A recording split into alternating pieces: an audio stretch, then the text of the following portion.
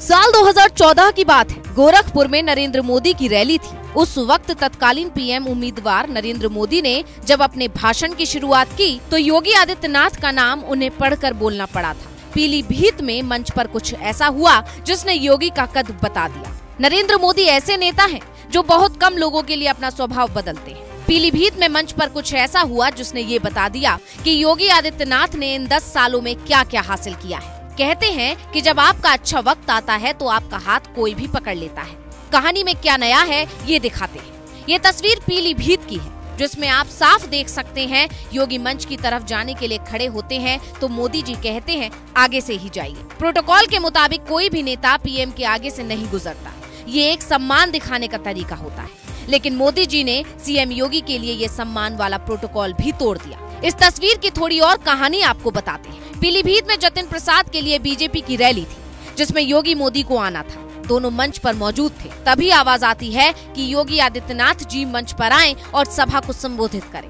मोदी का ध्यान कहीं और होता है, लेकिन योगी अपने भाषण के लिए माइक की तरफ़ जाने के लिए उठते हैं। वो खड़े होते हैं, लेकिन देखते हैं कि पीएम मोदी के सामने से जाना पड़ेगा तो वो खुद ही पीछे वाली कुर्सियों को हटाते हैं। बगल में सुरक्षा कर्मी भी खड़ा है, लेकिन वो वहाँ उससे कुछ नहीं बोलते हैं। ये सब देखकर पहले तो पीएम मोदी हैरान होते हैं, फिर देखते हैं कि योगी उनके सम्मान के लिए पीछे से जा रहे हैं। जबकि रास्ता तो आगे से, पहले आप पूरा वीडियो देखिए, फिर आपको बताते हैं कि योगी ने ऐसा क्यों किया।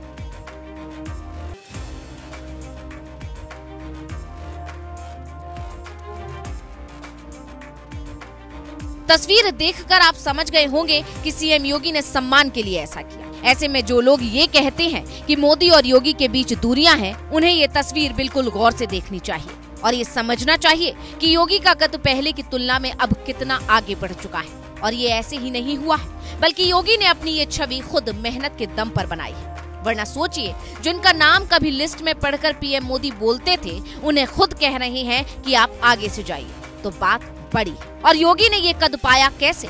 उसकी कहानी और शानदार है। जब मोदी प्रधानमंत्री पद के उम्मीदवार थे, तब योगी यूपी में मुख्यमंत्री पद के दावेदार भी नहीं बने पर तीन साल बाद, यानी साल 2017 में सारे सियासी समीकरण को उलटते हुए योगी सीधा सीएम की कुर्सी पर बैठे। उन्हें सीएम की कुर्सी जैसे ही मिली, सियासी गलियारे में अलग तरह की चर्चा छिड़ गई। कोई कह रहा था, शानदार शासन चलाएँगे। तो कोई कह रहा था, पता नहीं अब क्या होगा।